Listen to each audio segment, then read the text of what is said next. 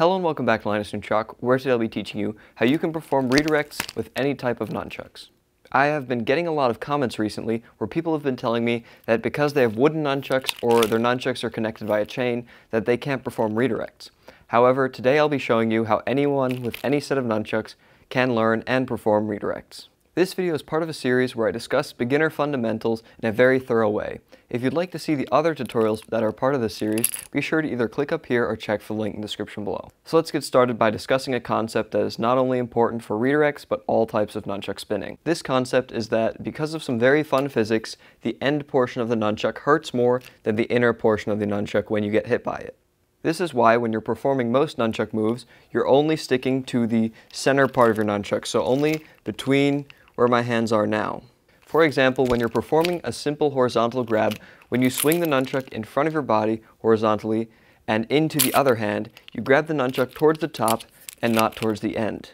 Another move that shows this concept really well is your strike and tuck. Instead of tucking at the end of the nunchuck, you're tucking further up to avoid hitting yourself with the end portion. The key to this and how it relates to your redirects is that you always want to avoid having the end portion come into contact with your body when you're performing redirects. There are a few different ways you can do this, the first of which is to bring this portion of the nunchuck that you're swinging into contact with your body as you're performing your redirect.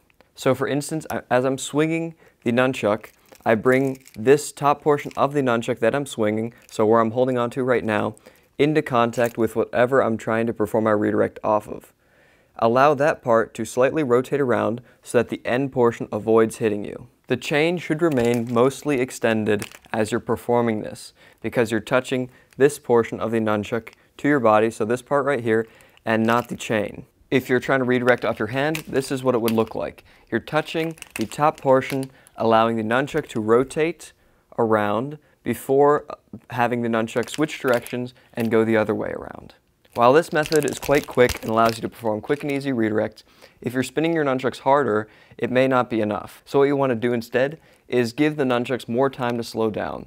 You do this by allowing the chain to wrap slightly around whatever you're performing your redirect off of. So instead of simply having the top of the nunchuck that you're swinging collide with whatever you're performing your redirect, this time what you're doing is you're allowing the chain part of the nunchuck to collide first and then the other end of the nunchuck to wrap around slightly, giving you more time to slow down the nunchuck and safely perform your redirect.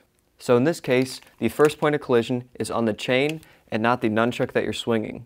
This is important because it'll give you a bit more time to slow down your nunchuck before performing your redirect. This works especially well if the chain or string between your nunchucks is longer.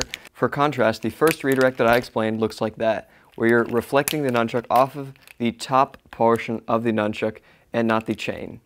The second version looks like this, where you're grabbing more towards the chain, allowing the nunchuck to revolve further around before slowing down. You still want to have the point at which you're performing your redirect off of the chain be closer to the nunchuck that you're swinging and not the nunchuck that you're holding on to. The third style of redirect is to touch the top part of the nunchuck to whatever you're performing your redirect off of. This works really well if you have a shorter chain or string between your nunchucks. This is also the slowest type of redirect, but it'll give you the most time to adjust and start to learn redirects if you do it carefully.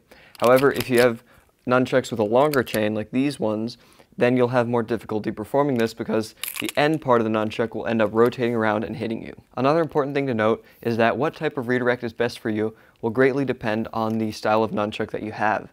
So be sure to start out by going slowly and performing them carefully so you can get a feel for it and figure out which type of redirect works best for you. So I hope that you found this tutorial useful. Don't forget to like and subscribe for more tutorials coming in the future, and go check out some other various nunchuck related tutorials that I have on my channel.